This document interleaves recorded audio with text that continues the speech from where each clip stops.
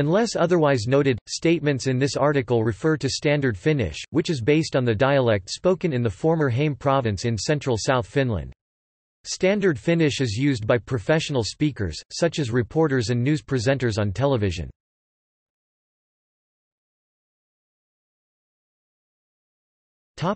Vowels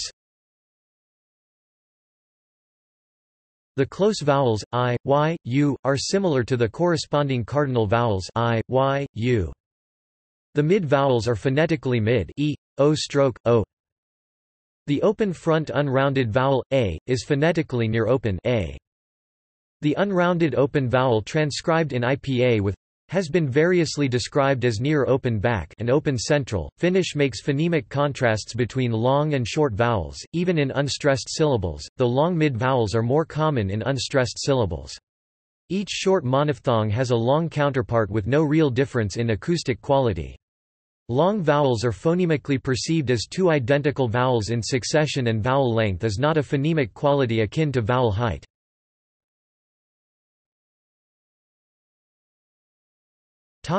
Diphthongs The table below lists the conventionally recognized diphthongs in Finnish. In speech i.e. phonetically speaking a diphthong does not sound like a sequence of two different vowels, instead, the sound of the first vowel gradually glides into the sound of the second one with full vocalization lasting through the whole sound.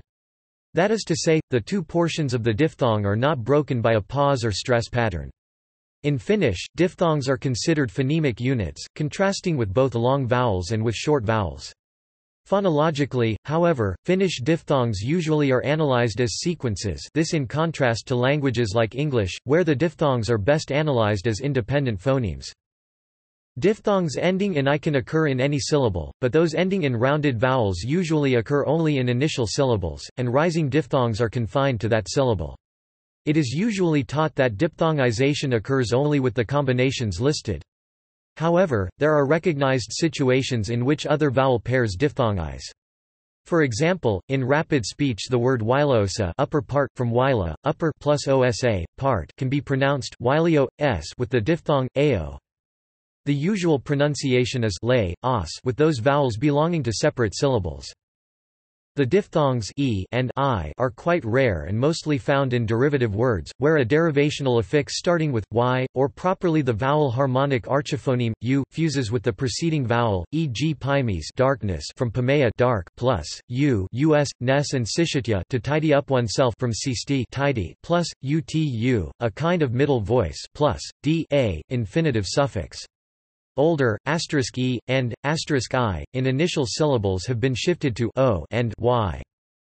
Opening diphthongs are in Standard Finnish only found in root initial syllables like in words tita to know, takapiora rear wheel from taka back, rear plus pia wheel. The latter part is secondarily stressed or luo towards. This might make them easier to pronounce as true opening diphthongs uo, i.e., yo stroke in some accents even wider opening u, i tilde i ash, y ash and not as centering diphthongs u, i, y, which are more common in the world's languages. The opening diphthongs come from earlier long mid vowels, asterisk o, greater than uo, asterisk e, greater than ie, asterisk o stroke, greater than yo stroke. Since that time new long mid vowels have come to the language from various sources. Among the phonological processes operating in Finnish dialects are diphthongization and diphthong reduction. For example, Savo Finnish has the phonemic contrast of versus u versus instead of standard language contrast of versus versus u.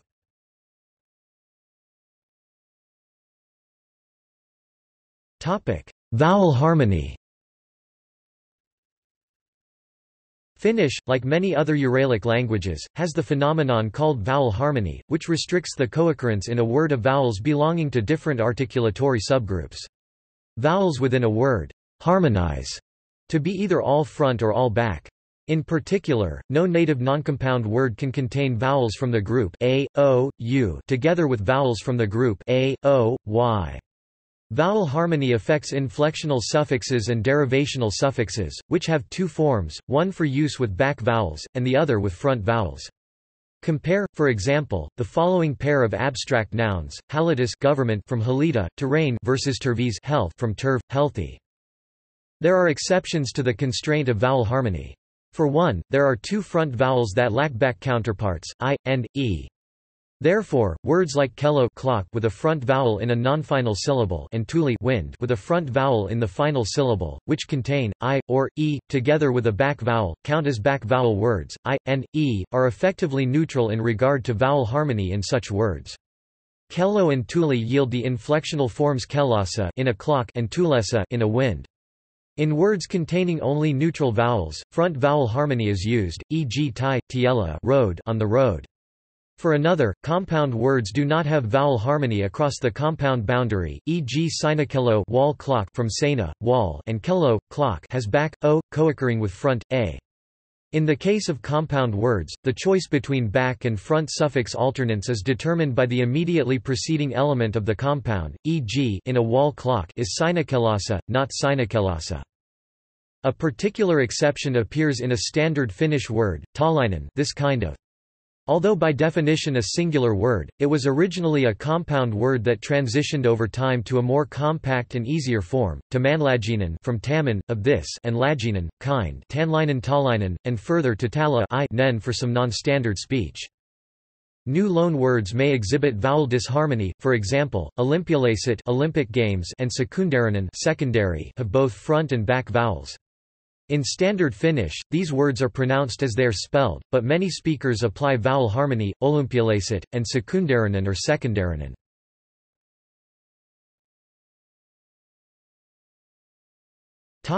Consonants For most speakers, t is dental t, whereas n and d are alveolar. d may sometimes be closer to a flap or tap, than a true plosive d, and the dialectal realization varies widely. It is increasingly common to pronounce it as a true plosive, however. See the section below. In native vocabulary it is the equivalent of t, under weakening consonant gradation, and thus it occurs only word medially, either by itself e.g. shade rhine, cf. sataa to rhine or in the cluster, hd, e.g. lada fountain, spring, source, cf. lati to depart. In recent loanwords and technical vocabulary the sound can occur somewhat freely e.g. addictio, adverbi, anecdota, boulevardi, demoni, formaldehyde, sandali, likewise in slang vocabulary e.g. dorka idiot, condis condition. S, is frequently retracted alveolar s, the glottal stop can appear at certain morpheme boundaries, the same ones as the gemination described further down as a result of certain sandhi phenomena, and it is not normally indicated in spelling at the end of a word, e.g. nn all, let it be, orthographically anna alla. Moreover, this sound is not used in all dialects. However, word internally, it can be indicated by an apostrophe, which can occur when a k is lost between similar vowels, e.g. vaaka scales, vaon scales gen.sg.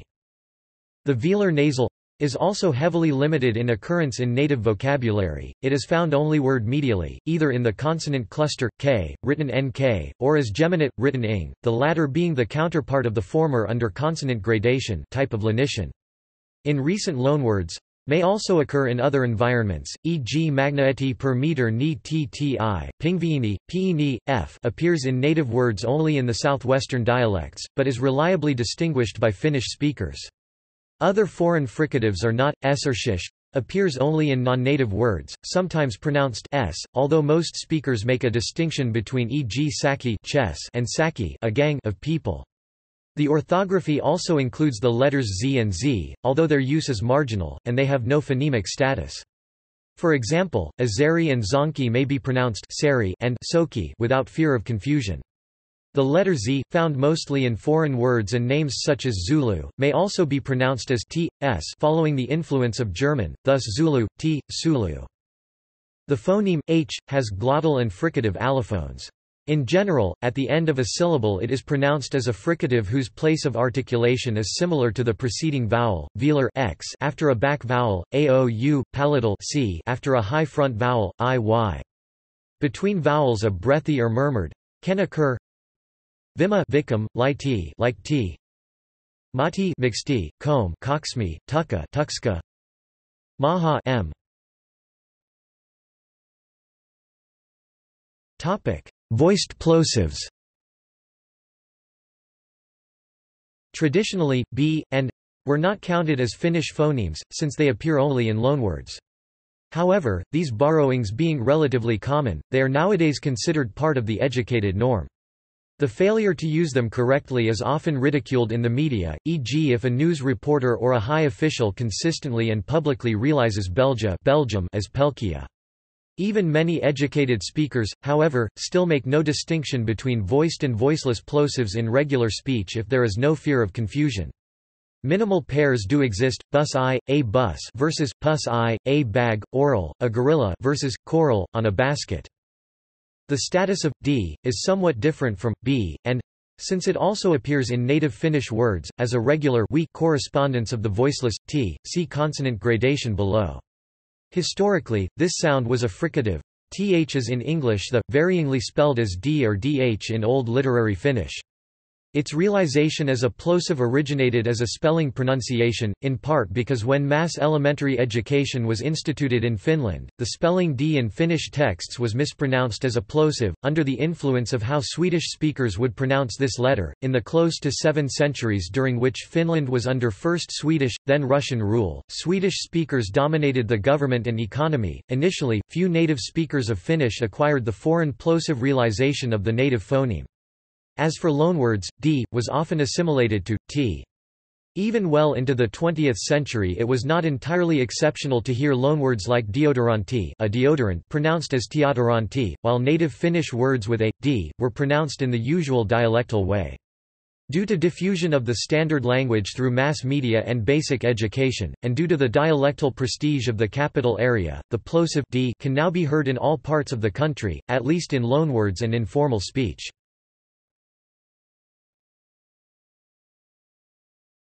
Topic: Consonant gradation. Consonant gradation is the term used for a set of alternations which pervade the language, between a strong grade and a weak grade. These alternations are always conditioned by both phonology and morphosyntax. The phonological factor which triggers the weak grade is the syllable structure of closed syllable. However, there are contexts where weak grade fails to occur in a closed syllable, and there are contexts where the weak grade occurs in an open syllable. Morphosyntactically, the weak grade occurs in nominals nouns, pronouns, adjectives usually only before case suffixes, and in verbs usually only before person agreement suffixes. The following is a general list of strong-weak correspondences. Topic: other consonant alternations Many of the remaining irregular patterns of Finnish noun and verb inflection are explained by a change of a historical asterisk t to c. The change from asterisk t to c, a type of assimilation, is unconnected to consonant gradation, and dates back as early as Proto-Finnic. In modern Finnish the alternation is not productive, due to new cases of the sequence, t, having been introduced by later sound changes and loanwords, and assimilation therefore occurs only in certain morphologically defined positions. Words having this particular alternation are still subject to consonant gradation in forms that lack assimilation. Finnish words may thus have two, and sometimes three stems. A word such as vesi water sg, nam, may produce veden sg, gen, vedina sg, s, vesissa place inis, because the change from t to s has only occurred in front of i. When a vowel other than i occurs, words like vesi inflect just like other nouns with a single t alternating with the consonant gradated d. This pattern has, however, been reverted in some cases. Variation appears in particular in past tense verb forms, e.g. kielta, kielsi to deny, denied, but sada, sati to adjust, adjusted. Both alternate forms kielti and sa can also be found in dialects. Apparently this was caused by word pairs such as nota, nuti bring and nusta, nusi rise, which were felt important enough to keep them contrastive. Assimilation occurred prior to the change of the original consonants cluster *kt to ht, which can be seen in the inflection of the numerals yksi and kaksi, yhden, kaden. In many recent loanwords, there is vacillation between representing an original voiceless consonant as single or geminate. This is the case for example calcium calcium and cantarelli tilde cantarelli. The orthography generally favors the single form, if it exists. More completely assimilated loans such as Farsi, Minuti, Oapara generally have settled on geminates.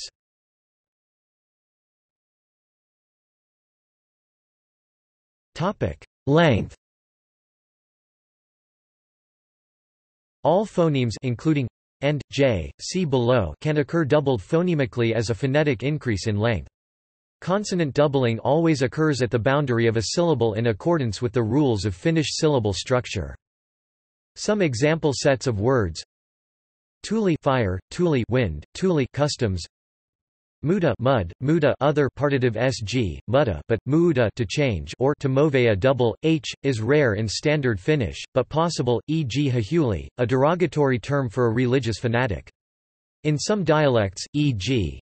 Savo, it is common, rahu, or standard Finnish raha money in the partitive case. The distinction between d and d is found only in foreign words. Natively d occurs only in the short form.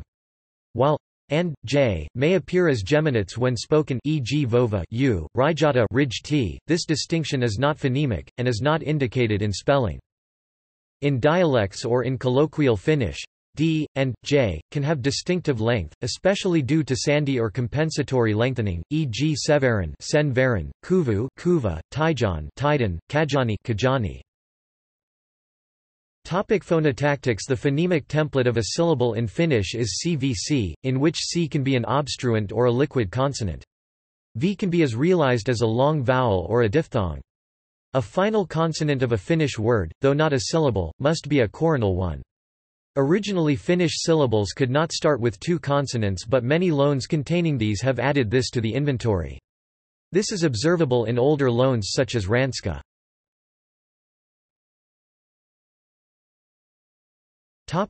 Consonant phonotactics Consonant phonotactics are as follows, word final consonants Only, t, s, n, r, l Glottal stop occurs almost exclusively at word boundaries, replacing what used to be word final consonants, k, and, h, word initial consonants. Only, d, and, cannot occur word initially except, d, in loan words, word initial consonant clusters. Only stop plus liquid combinations are allowed, which is a result of the influence of mostly post-World War II loanwords e.g. clinic. Topic: Clinic, Plan TT Planet, word final consonant clusters. None, except in dialects via vowel dropping. Word medial consonant clusters. The following clusters are not possible in Finnish. Any exceeding three consonants except in loan words Stop plus nasal. Labial stop plus non-labial stop. Non-dental stop plus semivowel Nasal plus non-homorganic obstruent except nh Nasal plus sonorant Liquid plus liquid Semivowel plus consonant Topic: Vowel phonotactics. Vowel phonotactics are as follows: word final and word initial vowels. Any of the vowels can be found in this position. Vowel sequences Double, long vowels Usually only the vowels a, i, y, u, are long. Sometimes the mid-vowels, e, o, o, can be long in cases of contraction. Diphthongs Of the 17 diphthongs, 14 are formed from any vowel followed by a close vowel. The three exceptions are, uo, yo, ie. Vowel combinations Approximately 20 combinations, always at syllable boundaries. Unlike diphthongs, the second vowel is longer, as is expected, and it can be open or a. Sometimes three to four vowels can occur in a sequence if a medial consonant has disappeared.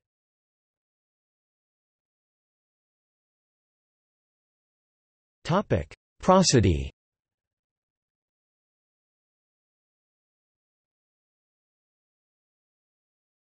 Topic: Stress Stress in Finnish is non-phonemic. Like Hungarian and Icelandic, Finnish always places the primary stress on the first syllable of a word. Secondary stress normally falls on odd-numbered syllables. Contrary to primary stress, Finnish secondary stress is quantity sensitive. Thus, if secondary stress would normally fall on a light CV, syllable but this is followed by a heavy syllable CVV, or CVC, the secondary stress moves one syllable further to the right, and the preceding foot syllable group therefore contains three syllables. Thus, omenanani, as my apple, contains light syllables only and has primary stress on the first syllable and secondary on the third, as expected, omenanani. On the other hand, omenanam as our apple has a light third syllable na and a heavy fourth syllable nam, so secondary stress falls on the fourth syllable, omananam. Certain Finnish dialects also have quantity-sensitive main stress pattern, but instead of moving the initial stress, they geminate the consonant, so that e.g. light heavy CV, CVV becomes heavy heavy CVC CVV, e.g. the partitive form of fish is pronounced kala in the quantity-insensitive dialects but kala in the quantity-sensitive ones cf. also the examples under the length section. Secondary stress falls on the first syllable on non-initial parts of compounds, for example the compound punama, meaning wooden face, from puu, tree and nama, face, is pronounced pu but punama, meaning which was cleaned, preceded by an agent in genitive, by someone, is pronounced pu.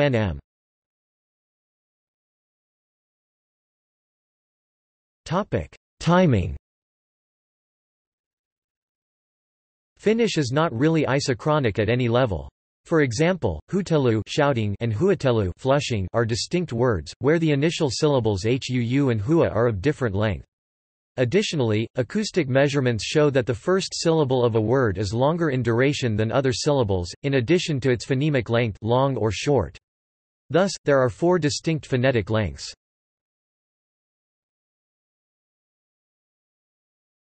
Sandhi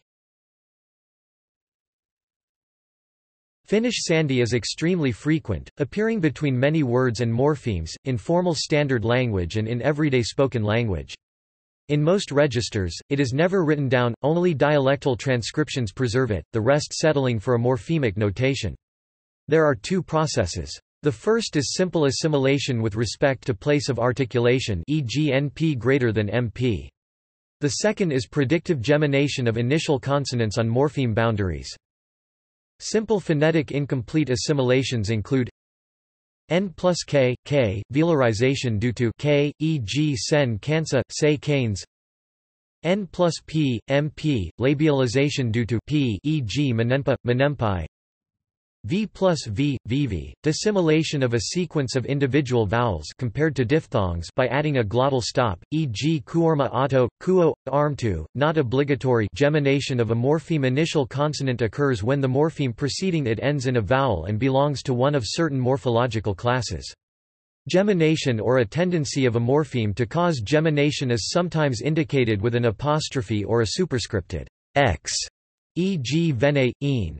Examples of gemination Many nouns ending in e apart from some new loanwords e.g. hakalava, kel, open box bed for wood chips imperatives and connegative imperatives of the second person singular, as well as the negative form of the present indicative these three are always similar to each other e.g. asta vene, o, street een, buy a boat connegative imperatives of the third person singular, first person plural, second person plural and third person plural, alka tekakon sita, tekok ashen, actually, don't do it first infinitives the dictionary form e.g. Tati mena kaimon, Tati men ake am ash n, noun cases in e, allative lle as well as the more marginal sublative nne as in tan and prolative ze as in postit c, not the commutative, though some other words such as kai probably, luo to, towards a person or place, tai orth gemination can occur between morphemes of a single word as in, minal e, plus, kin, minal ek in, to me too, orthographically minilican, between parts of a compound word as in, per he, plus, plari, perep larry family meeting, orthographically peripalaveri, or between separate words as in, tuli, plus, tean e, tulit an e come here. In elaborate standard language, the gemination affects even morphemes with a vowel beginning, oat, plus, omen, oat omen or otamen take an apple. In casual speech, this is however often rendered as otamen without a glottal stop. These rules are generally valid for the standard language, although many southwestern dialects, for instance, do not recognize the phenomenon at all. Even in the standard language there is idiolectal variation disagreement between different speakers, e.g. whether colm 3 should cause a gemination of the following initial consonant or not, colmrist or colmrist 3 crows. Both forms occur and neither one of them is standardized, since in any case it does not affect writing. In some dictionaries compiled for foreigners or linguists, however, the tendency of geminating the following consonant is marked by a superscript x as in parex. Historically, morpheme boundary gemination is the result of regressive assimilation. The preceding word originally ended in h or k. For instance, the modern Finnish word for boat vene used to be venna, a form still existing in the closely related Karelian language. At some point in time, these, h, and, k, s were assimilated by the initial consonant of a following word, e.g. venä kulkevi the boat is moving. Here we get the modern Finnish form orthographically vene kulki, even though the independent form has no sign of the old final consonant, h. In many Finnish dialects, including that of Helsinki, the gemination at morpheme boundaries has become more widespread due to the loss of additional final consonants, which appear only as gemination of the following consonant, cf. French liaison. For example, the standard word for now nyt has lost its t and become ny in Helsinki speech. However, ny plus say now it does something is pronounced nyse and not asterisk nyse, although the latter would be permissible in the dialect of Turku. Similar remnants of a lost word final, n, can be seen in dialects, where e.g. the genitive form of the first singular pronoun is regularly, mu, standard language minin, say, plus, on, plus, mu, seomu it is mine. Preceding an approximant, the, n, is completely assimilated, mu jamo my wife. Preceding a vowel, however, the n, however appears in a different form, mu, plus, om, munam or even moon om my own.